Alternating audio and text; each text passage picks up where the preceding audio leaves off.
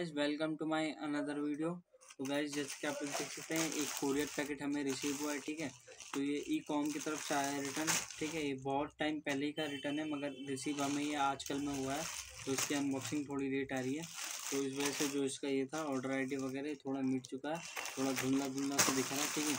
अगर आपको दिख सके तो आप देख लीजिए, थोड़ा फोकस करके मैं आपको दिखाने की कोशिश करता हूँ, ठीक है? ये कुछ ऐसा प्रोडक्ट है देखने में वाहियात लग रहा है। मैं आपको ओपन करके दिखाता हूँ कि ये कैसा है, ठीक है? तो सिंपली मैं इसे कट कर देता हूँ यहाँ से।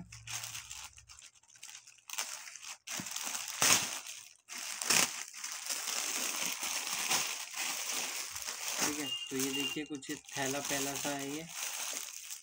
ये देखिए ठीक है?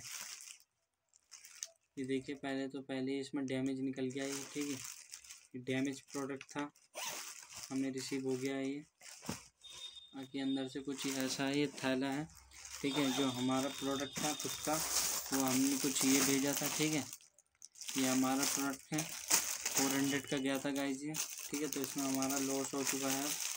ये हमारा प्रोडक्ट था, ये भेजा था हमने, और बदले में हमें ये रिसीव हुआ है।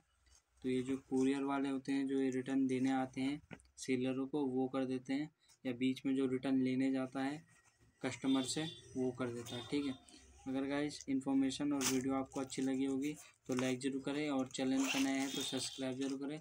मिलते हैं नेक्स्ट वीडियो में नेक्स्ट टॉपिक के साथ। जब तक के लिए जय हिंद, जय भारत।